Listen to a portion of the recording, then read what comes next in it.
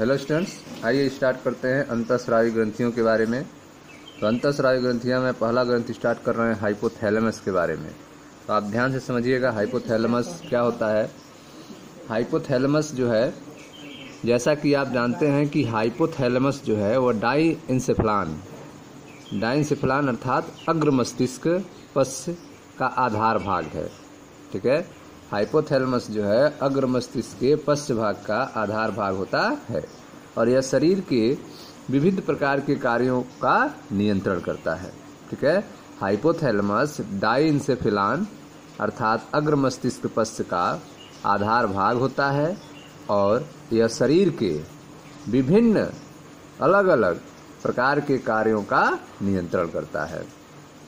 इसमें हार्मोन का उत्पादन करने वाली कई तंत्रिका श्रावी कोशिकाएँ होती हैं, जिन्हें न्यूक्ली कहते हैं, ठीक है?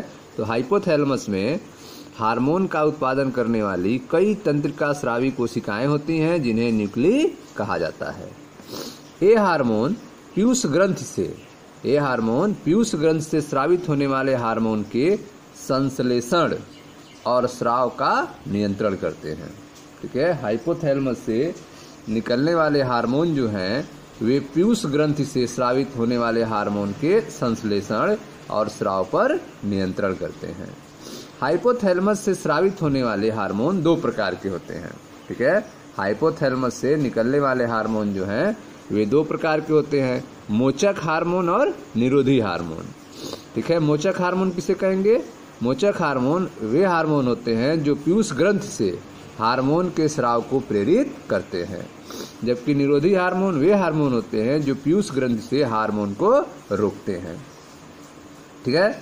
आप पढ़ रहे हैं अंतस्रावी ग्रंथ के बारे में, जिसमें आपको पहला पढ़ाया जा रहा है हाइपोथैलेमस के बारे में। आपको बताया गया कि हाइपोथैलेमस जो है, वह डाइंसेफलान अर्थात अग्र मस्तिष्क पश्च का आधार भाग होता है और यह शरीर के विविध प्रकार के कार्यों का नियंत्रण करता है। इसमें हार्मोन का उत्पादन करने वाली कई तंत्रिका स्रावी कोशिकाएँ होती हैं, जिन्हें न्यूक्ली कहते हैं।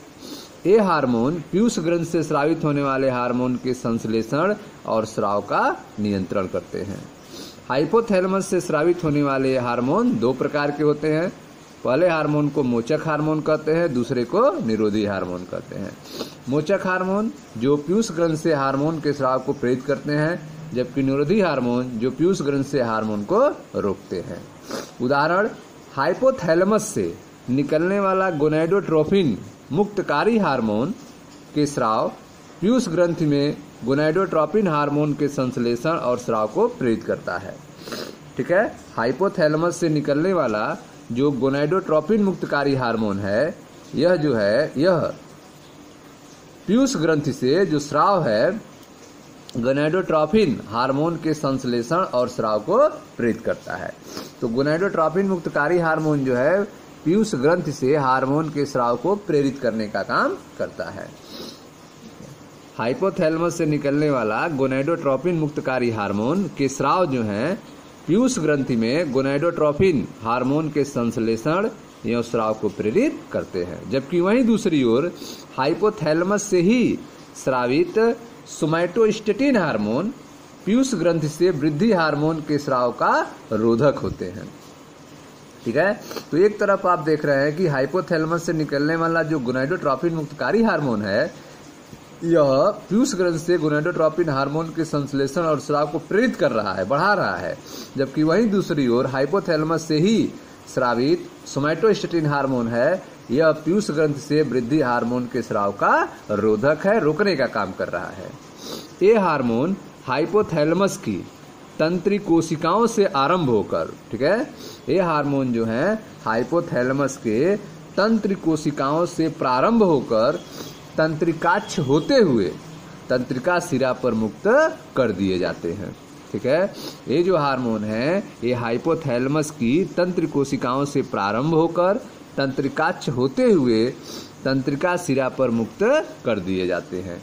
ये हार्मोन निवाहिका परिवहन तंत्र द्वारा ये हार्मोन निवाहिका परिवहन तंत्र द्वारा पीयूष ग्रंथि तक पहुँचते हैं और अग्र पीयूष ग्रंथि के कार्यों का नियमन करते हैं।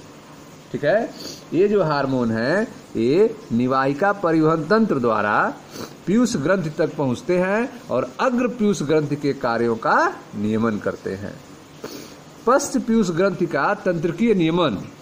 जो पश्च पीयूष ग्रंथि है, उसका जो तंत्रकीय नियमन है, वह सीधे हाइपोथैलेमस के अधीन होता है। ठीक है? पश्च पीयूष ग्रंथि का तंत्रकीय नियमन जो है, सीधे हाइपोथैलेमस के अधीन होता है, जबकि अग्र पीयूष ग्रंथि का नियमन जो है, वह हार्मोन निवाहिका परिवहन तंत्र द्वारा पीयूष ग्रंथि तक पहुँचते हैं, और अग्र पीयूष ग्रंथि के कार्यों का नियमन करते हैं। ठीक है? तो यह था हाइपोथैलेमस के बारे में। आप फिगर में देख सकते हैं, यह आपका प्यूटिटरी ग्लैंड का फिगर है, जिसके दो भाग हैं अग्र पीयूष ग्रंथि और पश्च पीयूष ग्रंथि। ठीक है? पश्च पीयूष ग्रंथि का कंट्रोल आप देखें सीधे हाइपोथैलेमिक तंत्र कोशिकाओं के द्वारा हो रहा है, और हाइपोथैलमस यह है, यह आपका हाइपोथैलमिक हाइपोथैलेमिक तंत्री कोशिकाएँ हैं। ठीक है? हाइपोथैलेमिक तंत्री कोशिकाएँ और यह हिस्सा जो है हाइपोथैलेमस है, इसको कंट्रोल कर रहा है।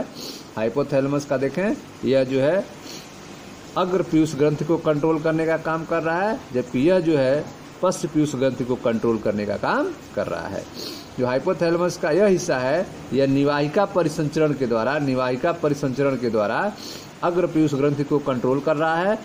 ठीक है? जबकि यह जो तंत्रिका कोशिकाएँ हैं, यह पश्च पीयूष ग्रंथि को डायरेक्ट कंट्रोल कर रही हैं।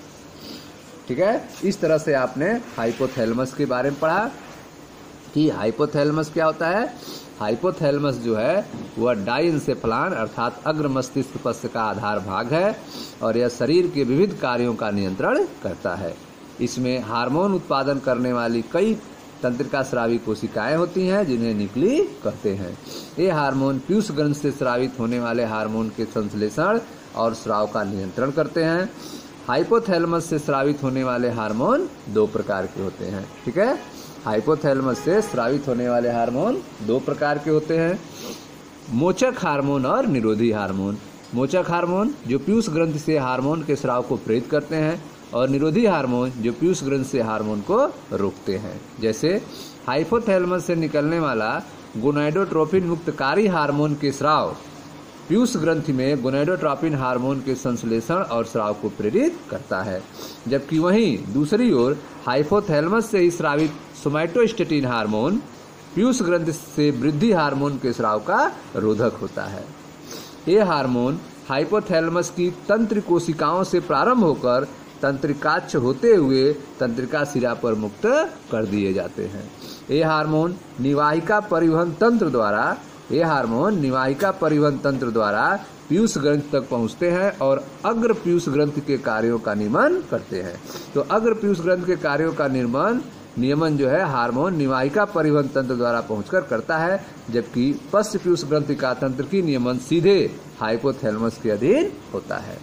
ठीक है स्टूडेंट्स तो यह था हाइपोथैलेमस के बारे में। Thank you